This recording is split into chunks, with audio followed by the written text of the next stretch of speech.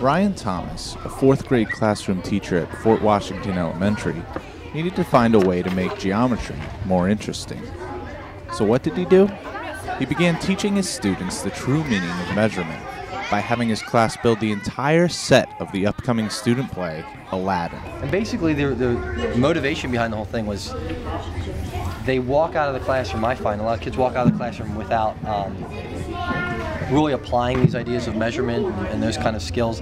Like they learn about the theoretical practices of, you know, 12 inches in a foot kind of thing, but do they ever really use it? Was kind of my motivation behind it.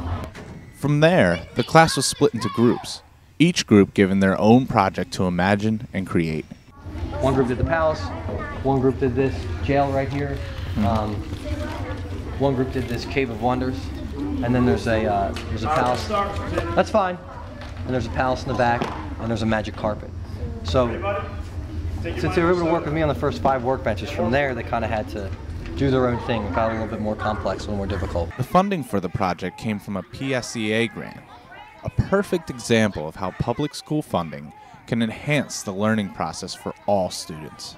So then I wrote the grant for the PSEA, and uh, they accepted it, and these guys were able to have that opportunity to uh, to build all these things. Until next time, from Montgomery Media, I'm Andy Stettler.